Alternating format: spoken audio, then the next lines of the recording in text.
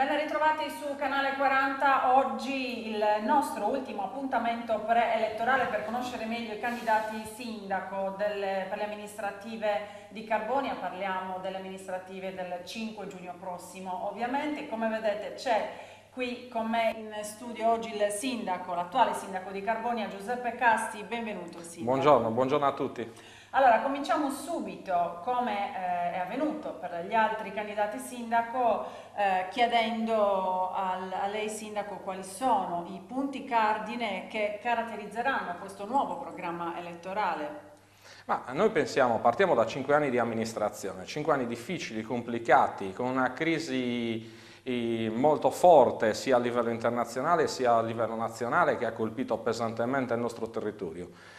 Eh, però pensiamo di proporre un programma elettorale che sia in continuità con i cinque anni in cui abbiamo amministrato, quindi con alcuni punti cardine, eh, li svilupperemo insieme ai cittadini di Carbonia, insieme alle forze politiche, alle liste civiche che ci sostengono, per poter continuare ad amministrare in continuità con l'amministrazione che, che si sta concludendo.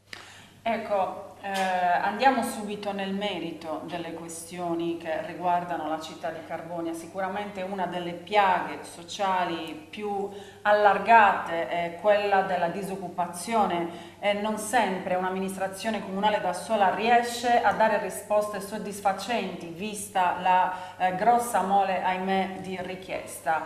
Eh, come si potrebbe eh, fare per arginare al massimo questo problema in una eventuale prossima, eh, tra virgolette, legislatura?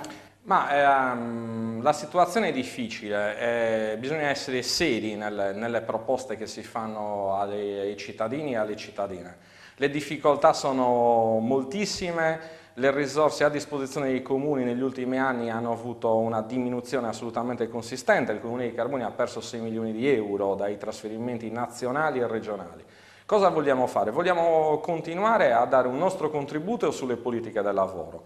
Abbiamo messo in campo degli strumenti che non sono assolutamente quelli che servono per risolvere problematiche lavorative, ma in questi anni per esempio abbiamo con centinaia e centinaia di posti a tempo determinato cercare, cercato di arginare una situazione. Naturalmente questa amministrazione ha vissuto gli anni della, delle, dei problemi industriali di Portovesme, li abbiamo vissuti in prima persona, ci sono state le chiusure di Alcoa, Euralumina. Ecco, noi pensiamo che l'anno 2016 sia un anno di svolta, sia per Alumina sia per Alcoa. E crediamo fortemente che il governo nazionale e la regione autonoma della Sardegna, e stiamo partecipando attivamente a tutti i tavoli, possa risolvere definitivamente il problema industriale. Noi vogliamo l'industria, questo è un punto importante che vogliamo chiarire, l'industria può coesistere assolutamente anche con, con altri filoni come il turismo e la cultura. Quindi noi pensiamo che il polo industriale di Portofesme vada salvaguardato e tutte le nostre forze devono anche essere destinate a ulteriori interventi sul campo turistico, per esempio, e culturale. Noi pensiamo che questo sia un punto di svolta. La riapertura della fabbrica può creare occupazione, ma può creare un indotto importante. Penso che possa avere risvolti positivi per esempio sulle attività commerciali, artigianali che hanno sofferto pesantemente la crisi per la mancanza di tantissime buste paga. Ecco, noi non ci presentiamo come i salvatori della patria e come coloro che dicono che in 15 giorni, un mese, due mesi riescono a risolvere tutti i problemi della nostra città. Noi siamo persone che conosciamo oh, la situazione, e noi ci impegniamo con il lavoro quotidiano come abbiamo fatto queste, in questi cinque anni. Abbiamo mantenuto i servizi, abbiamo salvaguardato i servizi e appena c'è stata data la possibilità questi non sono cantieri che sono nati a qualche, a qualche, settimana dalle elezioni, sono cantieri dove abbiamo lavorato per mesi, per anni, per farci trovare pronti nel momento dello sblocco totale del patto di stabilità. Io l'ho raccontato per cinque anni, lo sblocco totale del patto stabilità fortemente voluto dal governo in carica ha dato ossigeno, i primi dati sono assolutamente significativi, in Italia si sono sbloccati tantissimi cantieri anche a Carbonia.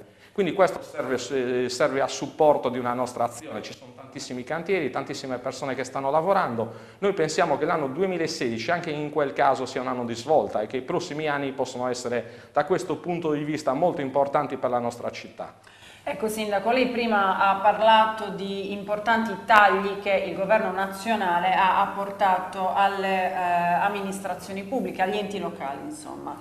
A fronte di questo eh, sarà possibile in qualche modo, eh, o, o, meglio, nonostante questo, sarà possibile in qualche modo ridurre le tasse che sono in capo oggi al comune? Tanti cittadini sono disperati perché non riescono a far fronte al pagamento delle tasse. Noi i primi anni della nostra amministrazione, stiamo parlando dell'anno 2011, l'anno 2012, abbiamo, avuto, abbiamo, dovuto praticamente fare alcuni interventi di adeguamento di alcune tariffe, di alcune tasse. Da due anni a questa parte ormai abbiamo riqualificato il bilancio, abbiamo eliminato le spese superflue e stiamo intervenendo nella riduzione dell'imposta e delle tasse. Negli ultimi due anni abbiamo diminuito del 20% uh, le quote di reta dell'asilo nido, abbiamo diminuito del 20% le, la retta per la, per la mensa scolastica, abbiamo ridotto del 25% il pagamento della tassa dei rifiuti. Ecco, sono primi significativi interventi nella direzione della riduzione delle tasse. Naturalmente vogliamo essere chiari e vogliamo essere precisi. Quando qualcuno pensa che le tasse possono essere annullate o tagliate del 50, 60, 70%, eh, è una proposta che naturalmente non è possibile fare, utopistica, eh, naturalmente vogliamo intervenire, negli ultimi due anni e tre anni abbiamo detto non abbiamo aumentato nessuna imposta ma li abbiamo diminuite, con un occhio di riguardo alle famiglie, ai bambini, alle persone deboli, diminuire l'RET del 20% sull'asilo nido pensiamo che sia una cosa importante per una città come, no, come, la nostra, la diminuzione delle messe scolastiche idem, vogliamo guardare alla scuola, vogliamo guardare soprattutto alle persone deboli, vogliamo guardare soprattutto alle nuove generazioni. C'è un, un, investimento importante sulla scuola, non solamente dal punto di vista delle strutture, ma dal punto di vista eh, globale dell'intervento scolastico. Noi crediamo che i giovani siano il futuro di questa città e vogliamo investire sui giovani. Ecco, noi tu, abbiamo tutta una serie di attività che sono destinate ai, ai bambini e le vogliamo riconfermare, dalla ludoteca a, a, a, tantissime cose che sono assolutamente utili per le nuove generazioni. Allora Sindaco, eh, ci sarebbero tante cose da dire perché lei ha amministrato Carbonia per appunto questi ultimi cinque anni, però sicuramente un altro problema molto sentito dagli abitanti di questa città è il problema abitativo, c'è fame di case. C'è fame di casa, è il secondo problema che ci pongono tutti i cittadini. Dopo il problema del lavoro, il problema della casa è il problema più importante per la, per la nostra città. Ecco, ci vuole un intervento importante in quella direzione. L'amministrazione negli ultimi cinque anni ha messo a disposizione 40-50 nuove abitazioni. Penso che Aria non abbia fatto tutto quello che poteva fare. Adesso all'attenzione del Consiglio regionale c'è la riforma di questo ente, che è un ente che in qualche modo per adesso non funziona adeguatamente, ci sarà una nuova disposizione di legge, speriamo di poter intervenire. Il Comune penso che abbia fatto quello che poteva fare. Abbiamo ancora 300 cittadini che chiedono fortemente di avere una casa, noi stiamo cercando di fare tutto quello che è possibile, ma sappiamo benissimo con serietà di non poter accontentare, tra virgolette, tutti questi cittadini che chiedono, che chiedono un, un, luogo in cui vivere. Abbiamo messo in campo delle misure alternative come quello del contributo sugli affitti, oltre sulla casa, per agevolare anche gli affitti privati, ecco, da questo punto di vista. Quindi sono tutta una serie di iniziative, noi ci, ci abbiamo creduto su, sul problema della casa e ci siamo impegnati e penso che alcuni risultati siano, siano positivi. Bene Sindaco, siamo praticamente addirittura d'arrivo, abbiamo quasi concluso la nostra intervista, anche se, eh, ripeto, ci sarebbe ancora da parlare, insomma di tante cose si potrebbe, eh, si potrebbe discutere, eh, però voglio chiederle se eh, avete mh, insomma, in programma qualche appuntamento pubblico per presentare al meglio nel dettaglio sia le liste che la supporteranno e sia il programma elettorale. Oltretutto, insomma, è di ieri la notizia che ha invitato tutti gli altri candidati a sindaco a partecipare a un dibattito pubblico, un dibattito coordinato da un giornalista a cui eh, insomma, fa riferimento per tutte le domande eh, che i cittadini stessi magari sono interessati a sentire le risposte. Per quanto riguarda la coalizione stiamo lavorando, il mio è un appello anche alle, alle altre liste civiche di centro, di sinistra, noi vogliamo presentare una coalizione che sia di centro-sinistra con un apporto determinante, determinante anche di forze civiche che ci sono. Io faccio un appello perché si uniscono a noi per, fare, per presentare una coalizione che sappia dare risposte praticamente ai cittadini. Mi sembra che la nostra sia l'unica proposta politica in campo in questo momento e proprio per questo ho invitato gli altri candidati, ma in maniera molto seria, ad un confronto sulle diverse tematiche, sui diversi problemi di Carbonia. Lasciamo perdere gli slogan, lasciamo perdere le persone che vengono a Carbonia una volta ogni cinque anni a fare più cabaret che proposte politiche e confrontiamoci insieme ai cittadini per cercare di dare risposte, per cercare di spiegare quello che ognuno di noi vuole fare per questa città. Io penso che noi abbiamo idee, programmi, soluzioni che siano diverse da quelle degli altri candidati, quindi sia utile assolutamente un confronto tra di noi Lasciamo perdere per una volta sistemi informatici che non consentono lo scambio di idee e facciamolo alla luce del sole di fronte a tutti in modo che ognuno capisca in maniera precisa cosa ognuno di noi vuole fare. Ecco, infine per quanto riguarda invece la campagna elettorale che entra nel vivo, avete scelto, tra virgolette, come da tradizione il porta a porta?